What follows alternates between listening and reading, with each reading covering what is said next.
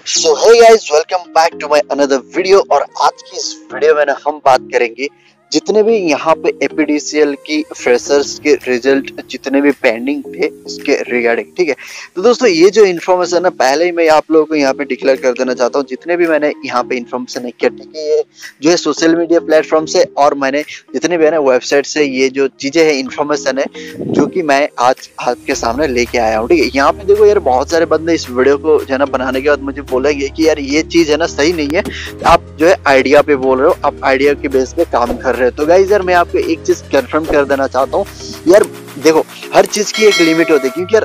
जितने भी एग्ज़ाम्स हुए थे ना एफएडीएसएल के रिगार्डिंग लास्ट ईयर उसके बाद दोस्तों, मैंने, मैं बहुत पहले एक अपडेट दिया था, अगर आपको पता है या नहीं, मुझे मालूम नहीं अपडेट दिया था आप लोगों को कम्युनिटी टैब में कि वहाँ पे ना, मैंने बोला था कि देखो यार, आपका जो रिज़ल्ट है बहुत ही जल्द आने वाला है। और जैसे रिज़ल्ट आ चुका है और इसके रिगार्डिंग मैंने ऑलरेडी आप लोगों को इन्फॉर्म भी कर चुका हूँ। अब दोस्तों देखो, आपको है ना कोई दूसरे थर्ड पार्टी वेबसाइट पे भरोसा नहीं करना है, ठीक है? क्योंकि मैं आपको जैसे पहले दो वीडियोस में आप लोगों को बताया था कि जो भी एपीडीएसएल की ऑफिशियल वेबसाइट रहेगी, उसी में सिर्फ़ और सिर्फ़ आपको ट्रस्ट करना है। आपका जितने भी है ना, वहाँ पे फ्रेशर्स के रिज़ल्ट या फिर जितने भी रिज़ल्ट आए वहीं पे शो होगा, ठीक है? हालाँकि देखो यार जिस दिन मैंने अपलोड की थी सेम टी एक ही दिन में मैंने दो वीडियो अपलोड किए थे, जो कि रिगार्डिंग थी फ़ील्ड कम असिस्टेंट की राइट और दूसरी जो सहायक की, ठीक है? अब दोस्तों, दोनों रिज़ल्ट जो है, रात को डिक्लेयर हुए थे, रात लगभग साढ़े ग्यारह और बारह बजे के बीच में वहाँ पे हुए ना व्हाट्स न्यू पे, जो भी एपीडीसीएल की ऑफिशियल वेबसाइट है, वहाँ पे अगर व्हाट्स न्यू पे नीचे आते हो तो वहाँ पे जो है रिज़ल्ट डिक्लेयर कर दिया गया था, इस टाइप से आप नीचे देख सकते हो।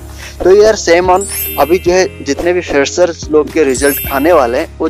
टोटली रिज़ल्ट जो है आपको अभी जितने मैंने सोशल मीडिया प्लेटफॉर्म से जो इन्फॉर्मेशन इकट्ठे किए सारे के सारे दोस्तों, आपको जो है फेबर तक का बताया जा रहा है ठीक है?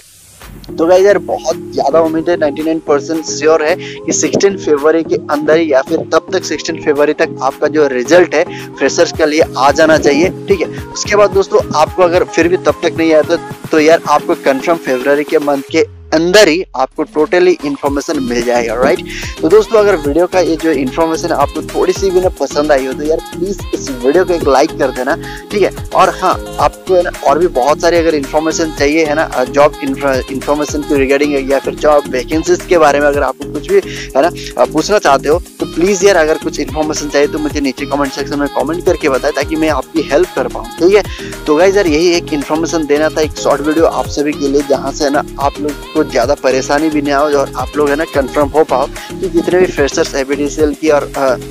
फ्रेशर्स रिज़ल्ट जो आने वाला है, वो कब तक आने वाला है राइट तो दोस्तों, यहाँ पे मैंने आपको कंफर्म कराया दिया है कि 16 जो है फरवरी तक आ जाना चाहिए, ठीक है? आएगा कंफर्म है जो कि सोशल मीडिया प्लेटफॉर्म पे ज़्यादा ही चर्चे पे है ये बात, ठीक है? तो गाइस अगर तब तक नहीं आता है सिक्सटीन फेबर तक नहीं आता है तो गाइज़ यार सेम ऑन आपका फेब्रवरी के अंदर फेब्रवरी के मंथ के अंदर आपको जो है इन्फॉर्मेशन टोटली जो है कंफर्मेशन मिल जाएगा। तो बस यार, आज के लिए इतना इतना ही मिलता है अगले नए वीडियो में, नए टॉपिक के साथ। तब तक के लिए देखते रहे और सीखते रहे।